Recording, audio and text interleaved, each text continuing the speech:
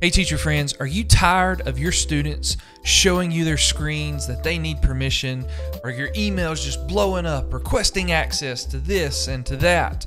Well, I've got a great tip for you that has worked for me 100% of the time, and it saved me a lot of those issues, and I'm going to show it to you in this video. For more content like this, like, subscribe, and turn notifications on. All right, so real quick, I just want to remind everyone about the shop for the math teachers shirts. And if you're a teacher that has a suggestion on a shirt, I'd be happy to make it for you if you'll just leave it in the Google form in the link in the description down below. All right, so the best tip so that you don't have to worry about your sharing permissions from Google Drive to Schoology.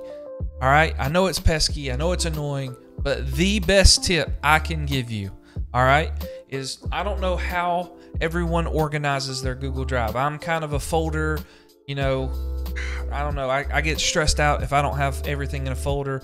Like I've worked on these today and I haven't put them anywhere, and it's kind of bothering me because I don't like anything not to be in my folder. But so the biggest thing that would help you and it helped me. So most I teach seventh grade math right now. So everything I've posted is either in my seventh grade math folder my Bitmoji drawings, or I have a school Schoology only videos. So any of those folders inside my Google Drive, what I did was I just changed the folder share permissions. All right, so that anyone on the internet with this link can view it. All right, that changed everything in the folder to those same permissions, and I didn't have to worry about anything. So my advice to you, if you don't have any folders, is to make you a Schoology folder.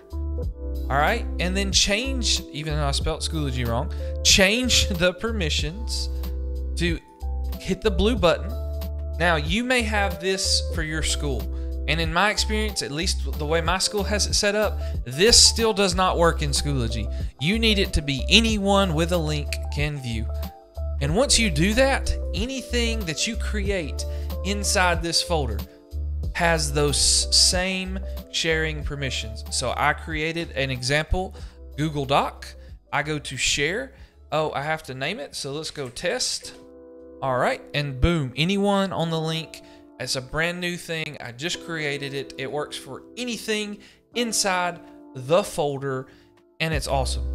Then you don't have to worry about getting all those goofy emails with this and with that about I need permission or I need this. I can't watch it. Mr. Coach Miller, I can't see any. You don't have to worry about that if you'll just make a folder and put everything inside. So if you enjoyed this, leave me a like, leave me a comment if it helped you out great. Share it with another teacher friend because I know we all need help in this crazy time right now. And if you stuck around this long, I've got another video that you can check out and a playlist on either side. And if you want to, hit the big circle button and you can subscribe to my channel. Good luck this year and happy teaching, friends.